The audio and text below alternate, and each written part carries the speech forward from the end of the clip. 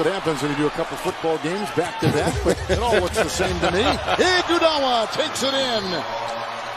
Timeout Lakers. A 21 to 3 run. Andre Iguodala behind the back. Some magician work inside by the veteran.